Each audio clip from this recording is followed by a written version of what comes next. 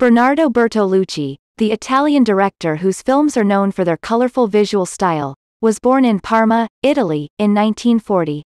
He attended Rome University and became famous as a poet.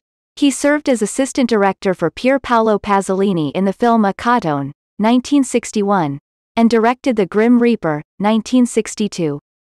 His second film, Before the Revolution, 1964, which was released in 1971, received an Academy Award nomination for Best Screenplay. Bertolucci also received an Academy Award nomination as Best Director for Last Tango in Paris, 1972, and the Best Director and Best Screenplay for the film The Last Emperor, 1987, which walked away with nine Academy Awards.